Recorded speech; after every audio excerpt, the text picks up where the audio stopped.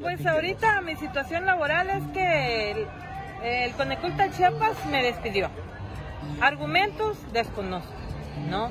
Ya hicimos el proceso legal que corresponde ante las instancias y pues eso sigue su marcha, ¿no? Lo mismo con mis compañeros que están aquí presentes, también fueron despedidos. Actualmente somos ya cinco los despedidos. Tenemos conocimiento que tienen una lista, que van a haber más despedidos. Hartos del hostigamiento laboral y despidos injustificados mediante coacción que sufre el personal del Sindicato de Trabajadores al servicio del Coneculta por la administración de Maritza Concepción Maranto Cepeda. Este jueves se manifestaron frente al Congreso del Estado. Ya, ya estuvo de toda esta intimidación que está haciendo los directivos del Coneculta, ¿no?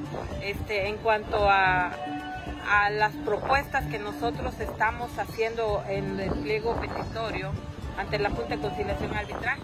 Aseguraron que la administración de Maritza Concepción Maranto Cepeda se niega a respetar el contrato colectivo de trabajo y le falta voluntad para conciliar con la base trabajadora. El día de ayer tuvimos la mesa de conciliación allá en la Junta.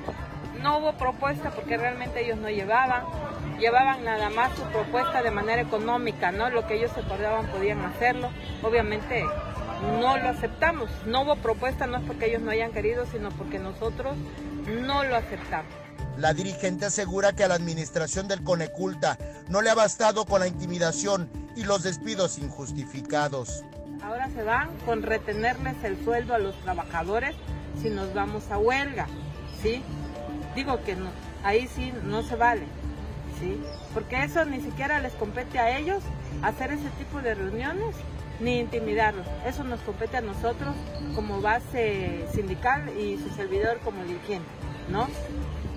Yo nunca he dicho que, este, que sí se va a hacer la huelga. Yo lo que he dicho que si no hay propuestas, pues no nos queda de otra, pero todo va a ser dentro del marco de la legalidad. Con imágenes de Christopher Canter, Eric Ordóñez, Alerta Chiapas.